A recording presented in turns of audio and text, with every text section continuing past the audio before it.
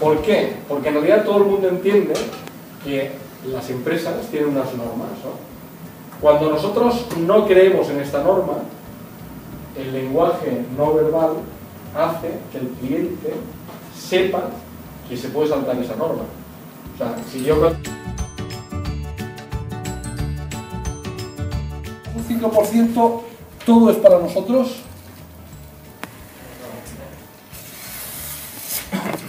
Tenemos dos papeles y los dos papeles es que yo divido, digamos, el otro 50% con la oficina que encuentra el cliente comprador. Si yo le quito a la otra oficina que va a buscar al cliente comprador el margen que ha dado la otra oficina, no le prestará atención. ¿Es correcto o no es correcto?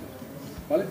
Por lo tanto, tenemos otro 50%, pero mire, yo trabajo en una empresa donde esa empresa, digamos, evidentemente paga luz, paga IBI, o no, paga, digamos, agua, paga, digamos, una serie, digamos, de cuestiones. Por lo tanto, este es el 50% de este 50% que de alguna manera, para montar una empresa, usted sabe, digamos, que mantenerla abierta tiene unos costes. ¿vale?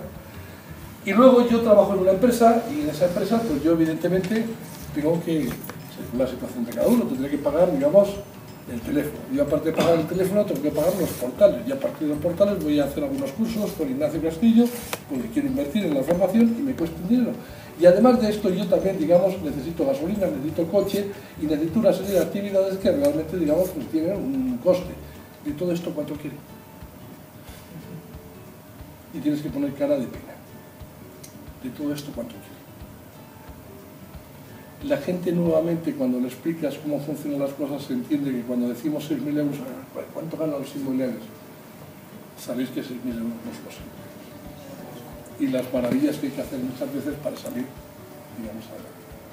Y entonces, vuelven, es una manera de explicarles, de que ellos entiendan gráficamente pues que el mercado funciona, que hay operaciones compartidas, que hay los gastos, que los portales no son gratis.